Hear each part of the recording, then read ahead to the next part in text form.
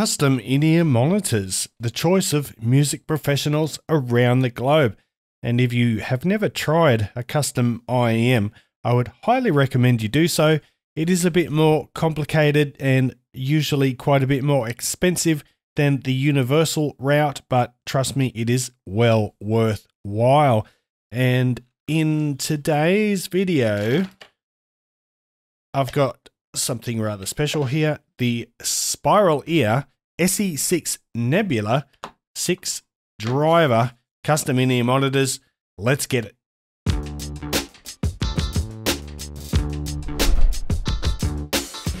What's cracking audio fans? It's David here from Prime Audio Reviews. So here I've got the SE6 Nebula. This is Spiral Ear's latest flagship custom in-ear monitor. And these babies come in at a price of around 3,000 euros or $3,000. Inside, we've got six independent balanced armature drivers with a passive six-way crossover. And in addition to that, we've got six bore nozzles there, one bore for each independent driver. Now this is what mine look like. You can get them in a variety of different colors. I think there are nine standard and six premium colors from memory.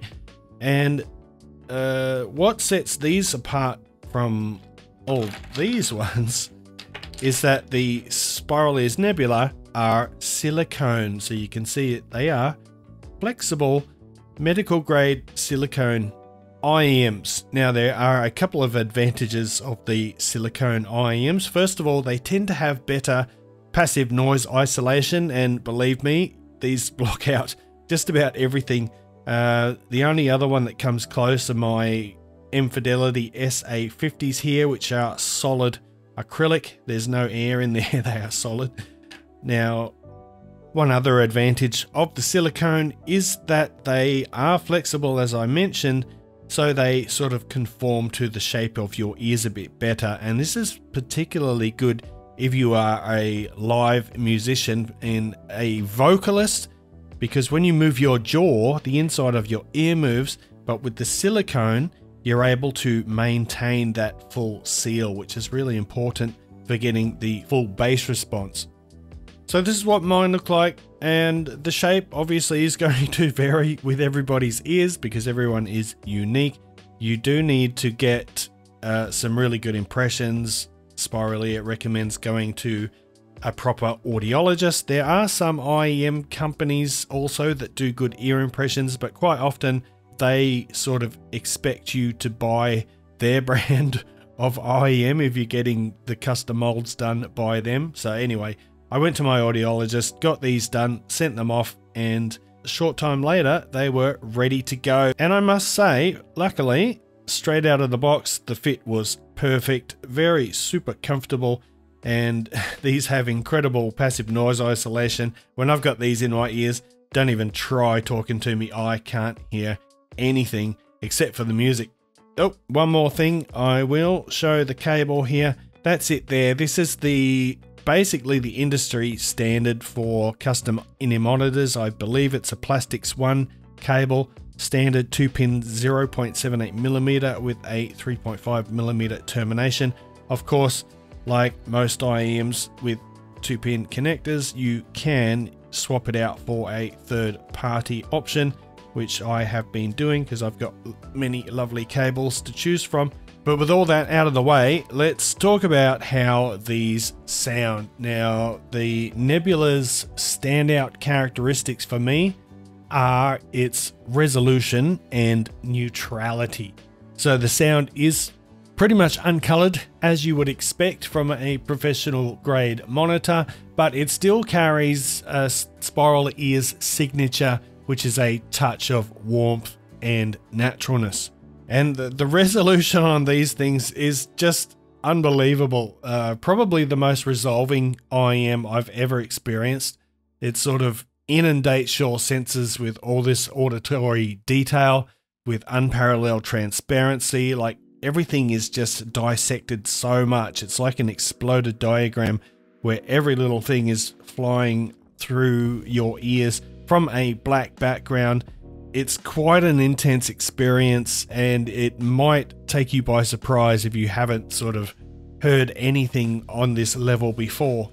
Let's talk about the bass now, and the bass is neutral in quantity and natural in tone. It's a really detailed bass.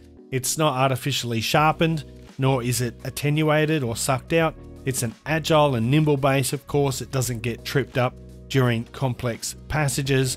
It doesn't compromise either on the clarity of the overall presentation, so there's no bleeding into the mid range. There's a good balance of sub bass and mid bass, and that gives the Nebula a nice satisfying punch and fullness in the bass. The sub bass extension is pretty impressive for an all BA IEM, and that's reinforced by, by a super black background and that outstanding resolution. And despite it, the bass being only very lightly enhanced in quantity, the sub bass is able, able to convey power while maintaining that absolute control. So it's not a basshead IEM, that is for sure. It's all about accuracy and tonal balance, but it is pretty satisfying for an all-BA IEM, and that is the case quite often with custom in-ear monitors. Like there, really, there's only ever been one or two universal all-BA models that I liked, but uh, they're few and far between. Anyway, it's a different story with custom IEMs because of that passive noise isolation and because you get such a black background. The SE6 Nebula's lower mid-range is pretty remarkable really. It's astonishingly detailed, yet it's profoundly warm and natural at the same time. It's like there's a clinical precision that's hidden beneath uh, its engaging organic character. So it sounds very natural, it sounds somewhat warm, but underneath that presentation is this sort of just unbelievable resolution and detail and separation.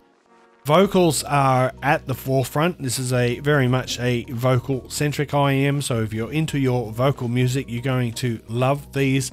Both male and female vocals rise out of the mix to take center stage in the presentation. The upper mid range, I'd say it's the most colored band in the spectrum.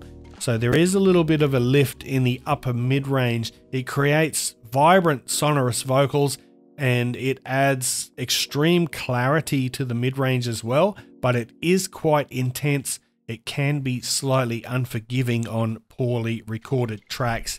And in addition, certain instruments, like maybe the high registers of flutes, brass instruments, and violins, they can get a little bit aggressive on occasion. Then, when it comes to treble, the treble is both smooth and detailed. It's somewhat laid, no, it's not really laid back.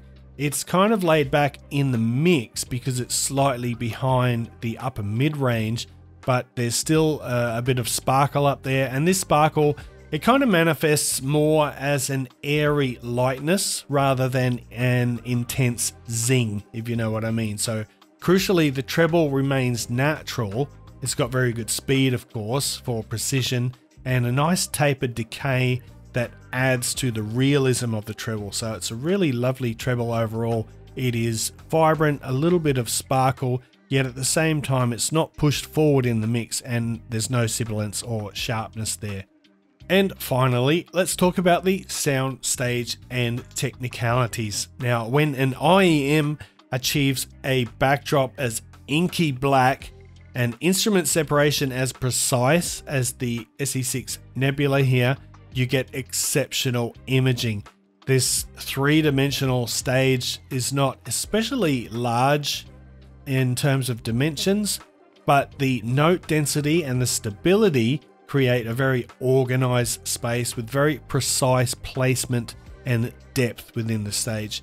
Instruments and vocals occupy their own well defined spots, which is like that resolution I was talking about earlier. Every little thing is sort of separate in the mix, it's not all just thrown in together.